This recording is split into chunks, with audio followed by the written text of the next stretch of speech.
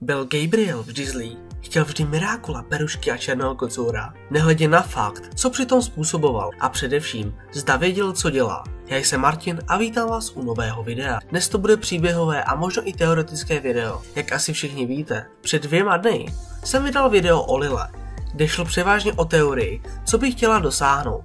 A tak mi napadlo udělat další podobné video na motivy Gabriela. A jelikož jsou zítra Vánoce tak jsem si říkal, že by to bylo skvělé, kdybych tohle video dal do kupy na toto téma, tedy ohledně Gabriela. Z prvních sérií je nám známo, že Gabriel pod přezdívkou Lišaj chtěl Mirákula, Berušky a Kocoura. V té době jsme ještě nevěděli, že by díky nim přetvořil vesmír k obrazu svému ale byl to vlastně jeho skutečný záměr. Uvědomoval si, co dělá a nebyl tím vlastně posedlý. No upřímně ano, byl tím posedlý natolik, že sobě i svým blízkým, včetně jeho synovi a Adrianovi ublížil. Ve třetí sérii zašel do cesty, ze které nebylo návratu. Z cesty, do které se možná pustil bez hlavě. A to bylo to, když zjistil identitu všech vedlejších hrdinů, aby se dostal přímo ke strážci Mirákul, kterým v tu dobu byl Mr. Fu. Vlastně nebýt své ambice, aby se dozvěděl, kdo byl onen strážce, ztratil možnost získat všechny Mirákula a novou strážkyní pro něj byla Beruška, tedy Marinette.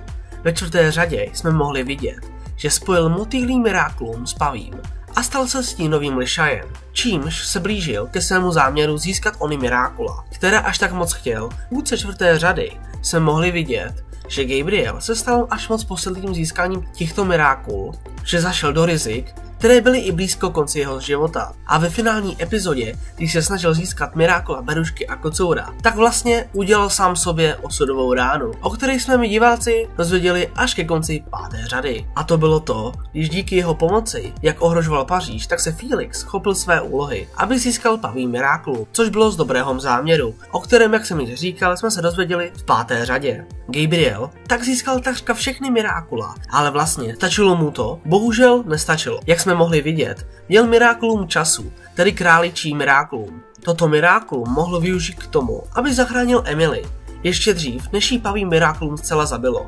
nebo dalo do komatu. Je těžké to popsat, ale touto ochybou se chytil do pasti. Přišel o toto mirákulu a v následující epizodě Destruction sám sobě uhodil náhrobek v podobě kočaklizmování. Touto cestou se Gabriel chtěl co nejdřív zmocnit jiných mirákul, aby zvrátil vše, co napáchal a svoji lásku přivedl k životu. Co se taky stalo ve finále páté série, kdy mu už zbývalo pár dnů, ne hodin, aby získal mirákula Berušky a Kocoura a přivolat entitu Jimmy, co se mu také podařilo a vyslovil přání, ale vlastně, jaké přání vyslovil? Tady bychom se tu mohli zastavit a říkat teorie. Co byla ta pravdivá? Já tu však uvedu jen tři teorie, které jsou pro mě zásadní. Tou první je to, že chtěl napravit své činy, se svědomím toho, co udělal, aby navrátil život Natali. A ta druhá teorie je ta, že si přál odčinit své chyby. A tak vše, co napáchal, by se spravilo. A tou třetí teorií, kterou já považuji, dá se říct za tu důležitou, ze kterou si celý fandom láme hlavu. Zase přál, aby jeho žena žila. Všichni víme, že k konci epizody by to mohla být Emily, ale v uniklých materiálech se uvádí, že to byla Emily.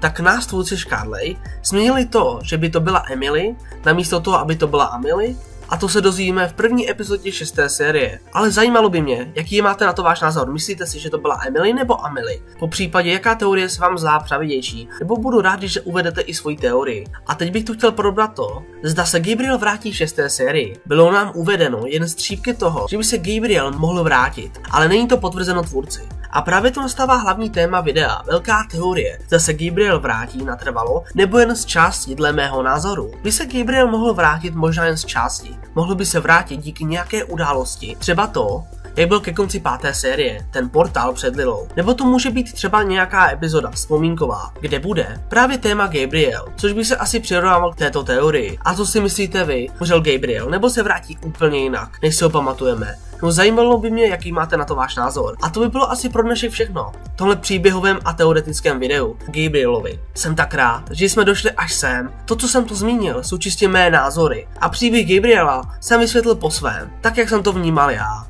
A já budu nesmírně rád, když přijdete na zítřejší vánoční stream od půl dvanácté. A to by bylo asi všechno. Budu rád za váš komentář, like a hlavně sdílení, po případě odběr, jelikož se blížíme k 6000 odběratelů a my se uvidíme nebo uslyšíme v dalším videu.